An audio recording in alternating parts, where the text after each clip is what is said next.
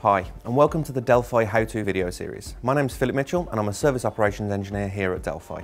Today I'm going to show you the features and benefits of the Delphi DS Diagnostic Tool and how to get the most out of the software.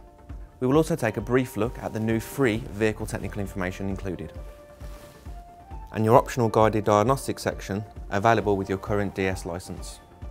For our demo we're going to be using a 2013 Ford Focus 1.6 TDI. First I'd like to introduce you to the DS home screen. All vehicle information is included on one screen, make, model, year and engine type etc, with no complicated route through multiple screens.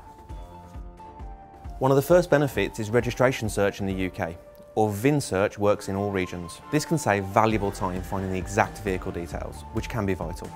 You'll also notice that the new features within the software are starred.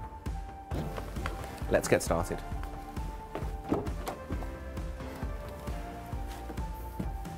Ensure you have an internet connection, enter the registration number and click enter. If our database cannot locate the correct VIN, you can enter it manually to retrieve the vehicle details. You can of course select the vehicle details on screen and press the play button to enter the communication screen. From here, we can erase fault codes, view live data, force actuations and perform dedicated functions. DS also incorporates a function called Flight Recorder, activated by pressing the record button here on the VCI. With this function, you can view and record multiple data channels when on a one-man road test, and review the information when you're back at the workshop. All live data lists can be customised and analysed later in detail to help identify the fault.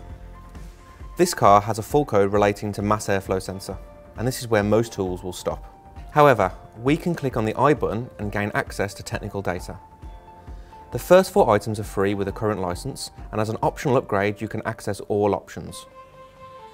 If we select the electrical section, we can enter the fault code P0113, and it will give you a clear step-by-step -step diagnosis. On the right-hand side it shows the test to be carried out, and down the left-hand side displays how the test should be performed and the expected results. To return to the communication screen, simply close the window. Back at the home screen, we can see the systems we can communicate with, Multifunction includes all body and submodules. We also have ISS, Intelligent System Scan, which allows the DS to scan all ECUs fitted to the vehicle and identify the faults which the customer may not be aware of. What sets the DS apart from its competition is the ability to check capability and view help information on specific vehicles without being plugged in. Just enter the registration and then select the Vehicle Information tab. Here we can see the tool's vast capability of this vehicle, and all the functions that can be performed can be seen on the OBD Functions tab. The second great thing is the help files available for each OBD function. Here we can see that the DPF regeneration function shows the prerequisites for initiating the process. These can be vital, especially when performing complicated functions such as injector coding or air suspension height calibration. Found the function you want? Then run it straight from the screen.